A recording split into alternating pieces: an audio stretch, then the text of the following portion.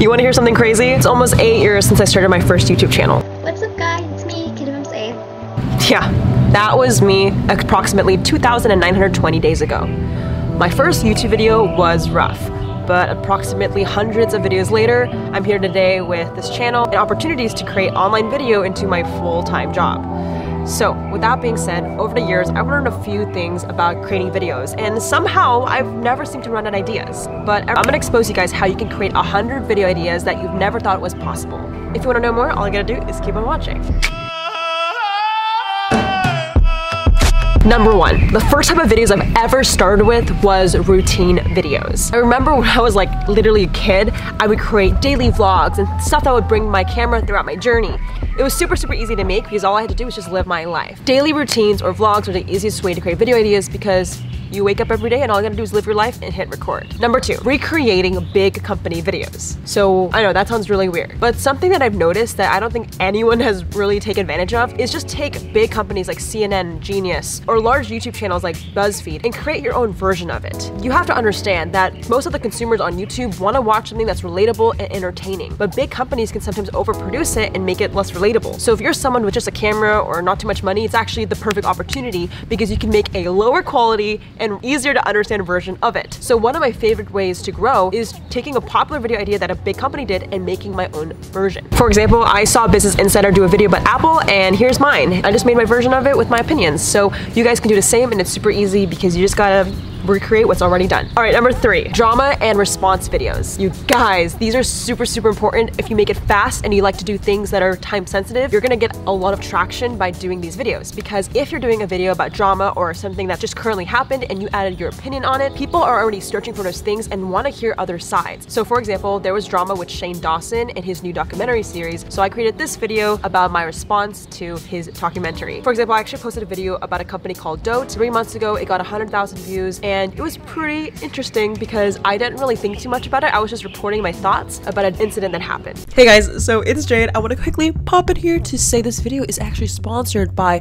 Get.Sites. If you guys know me, you know that I'm obsessed with really good branding. I think part of being a YouTuber is establishing a really good name for yourself. So if you have a YouTube channel with your name, but your website is taken, I highly recommend checking out Get.Sites. You know that I only recommend things that I actually love. So if you want to help your brand stand out, get your own unique identity, check out get.site or click the link in description to search for your .site domain now. All right, back to the video ideas. All right, so number four, hauls. You guys, when I was first starting my YouTube channel, I did this a lot. Hauls were something that I loved watching as a kid growing up because I'm just a nosy bitch. Like, I like to know what people are buying, and I think everybody buys something at some point in a month. So showing what you got, whether it's a grocery haul or something when you're shopping, those are really popular videos because I feel like at the end of the day, we're kind of nosy and we want to know what someone got, and we're just curious. So those are really great ways to just create a video, even if you don't feel like it's good enough. One of the most popular series on YouTube is thrift hauls, and I never thought people would give a shit about paying for $1 pants, but you'd be surprised. So try out hauls if you haven't already. Number five, product reviews. I did this actually in conjunction to the hauls. Like once I would buy something, I would then review it a week later, like testing out the product or experimenting with it. It's just a good way just to like squeeze out so much content in one singular sit down session. So for example, like my 10 year old self would like take a product I bought from Target, make a haul, and then right after I would do a review about how I used it on my face. So that was when I had a beauty channel, but this can overlap with tech, food, like even certain apps.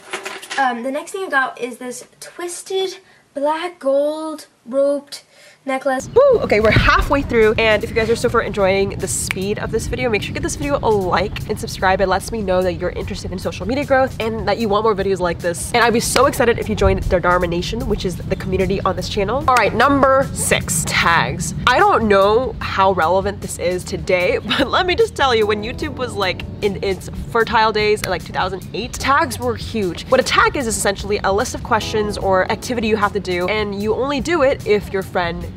tags you. I didn't really have friends back in the YouTube days, so I would just do the tag regardless, but it's just a fun way to get your audience to know you better on a personal level. In reality, there's already ideas that YouTubers make, and I have a feeling that yes, it's an older series, and I don't think it's as trendy, but we can bring it back.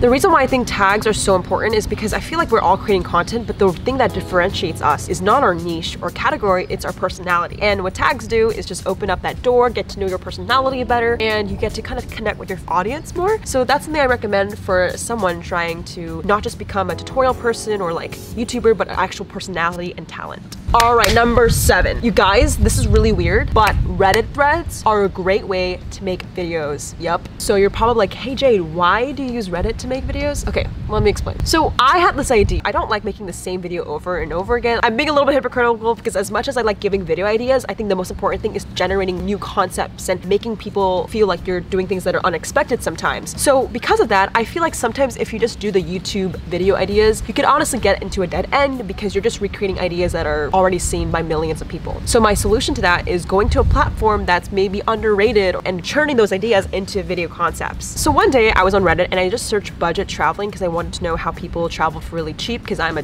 cheap ass. And I found a really long Reddit thread of people giving examples and tips for really cheap flights and hotels. And from there, I booked a trip to Europe and I used all those tips and it worked really, really great for me. And I probably would have never found it on a YouTube video because these were like actual like local people giving expert advice. I feel like sometimes if you're on YouTube, you can get like the rundown version. So I wanted the actual authentic tips. So I went to Reddit, then took those tips, used it, thought they worked, and applied it to a YouTube video. So you're almost getting like a new perspective by using a different platform platform. I believe that video about budget traveling got 200,000 views and for a channel my size, it was pretty good at the time. So I was really happy about that. So I hope you guys can use Reddit for your video ideas. All right, so number eight, if you're unoriginal and you really have no ideas, just do a Q&A. It's just so easy. Like if you don't have a video idea, this is like the best way to go because you don't do any of the work. Your audience asks you questions and get this, if your audience is so lazy that they don't even ask you questions, don't worry. You can go to other people's Q&A and take their questions and make it look like people ask you questions. You can no joke just ask your mom to ask you questions, or even better, write down the things that you think people would ask you and that you want to talk about. Number nine, tutorials. So personally guys, my channel is around education and marketing. The one you're watching right now primarily grew because of that. And I think it's because when you're doing how-to videos, it's really easy to get picked up on YouTube's SEO. And if you don't know what SEO, it stands for search engine optimization. So if you're posting a vlog that people don't really search for like your vlog, maybe people search for how to grow an Instagram or how to post consistently. So I make videos that people search for and that was really, really helpful. You don't have to do this all the time. Again, like out of the list of 10 ideas, this is just one of them. But if you're really trying to come up with video ideas, I use a tool called TubeBuddy. I will link below if you want to check it out. It's essentially a tool for you to find what are people searching for and how can I make sure I create it before everyone else does. So this is a really cool software. I'm not sponsored. I literally use it every day. So if you guys want to use it, just click the link in the description box. It's free. All right, number 10. This is my